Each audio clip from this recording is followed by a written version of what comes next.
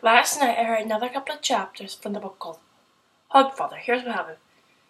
Uh, Susan, Susan, yes, was uh, busy trying to get this young man, the god of hangovers, to not have a hangover. She had taken him to where she needed him to go so she could fix him. She took him to the university to see if the wizards could do something to stop him from having the wicked hangover he had. I don't exactly blame her for doing it. I would have done the exact same thing probably if it was me. Excuse me. Susan had done everything she thought she could.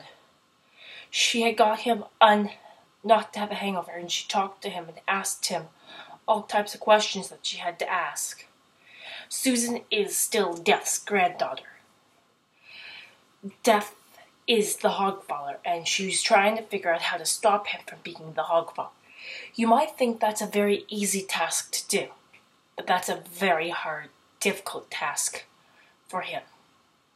For her to stop him from being the Hogfather, because the Hogfather is what he needs, what she needs, is. Because the real Hogfather, they still can't figure out where he is.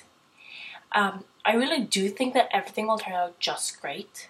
Susan is doing everything she thought she could to make it happen her way and stop it from doing get out of control.